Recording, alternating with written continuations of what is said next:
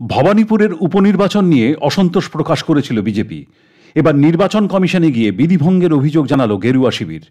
মঙ্গলবার নেতাজি ইন্ডোরের অনুষ্ঠানে ক্লাবগুলোকে পুজোর অনুদান ঘোষণা করেছে রাজ্য সরকার।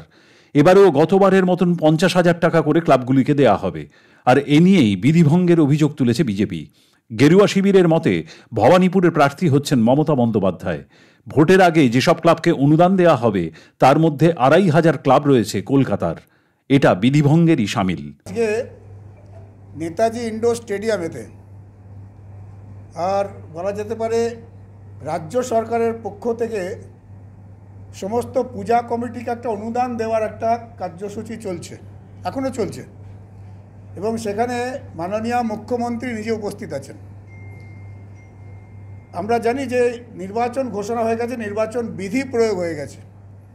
কলকাতার কর্পোরেশনের নির্বাচন বিধি প্রয়োগ হয়েছে। ছত্রিশ হাজার প্রায় পূজা কমিটির মধ্যে আড়াই হাজারের বেশি পূজা কমিটি কলকাতার মধ্যে রয়েছে।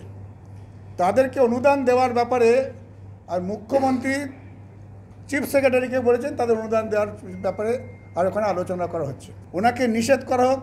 উনি এখনও পর্যন্ত আর মমতা ব্যানার্জি তিনি ইলেকশন কন্টেস্ট করার জন্য এখনও পর্যন্ত অ্যাপ্লাই করেননি। সেই ব্যাপারে ইলেকশন কমিশন ঘোষণা করুক, ব্যবস্থা নিক।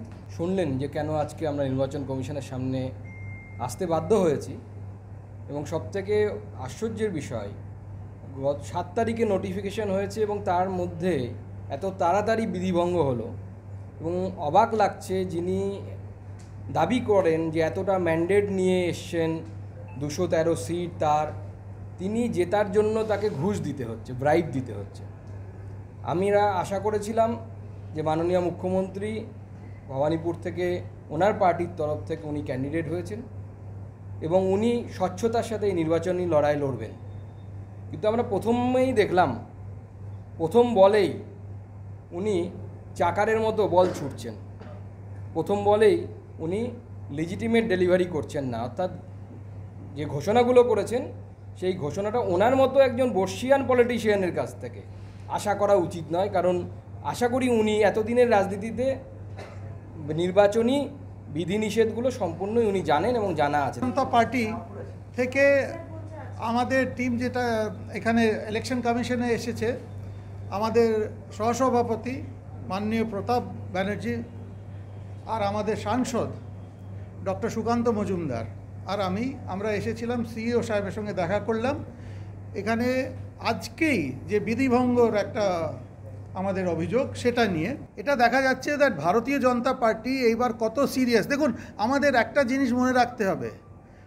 এইবার আমাদের রাজ্যে আমাদের মাননীয় মুখ্যমন্ত্রী মুখ্যমন্ত্রী হলেই তো মাননীয় বলা যায় তো?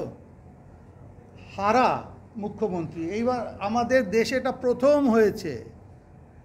আগে উনি বিধায়ক না হয়েও মুখ্যমন্ত্রী হতে পারতেন। এগারো দু হাজার এগারোতে তাই হয়েছিল। কিন্তু এইবার তো নির্বাচন লড়ে, হেরে ভবানীপুর থেকে পালিয়ে গিয়ে নন্দীগ্রাম নন্দীগ্রাম হারার পর আবার ভবানীপুর। আর এখানেও ওনাকে এই সব ঘুষপত্র দিতে হচ্ছে?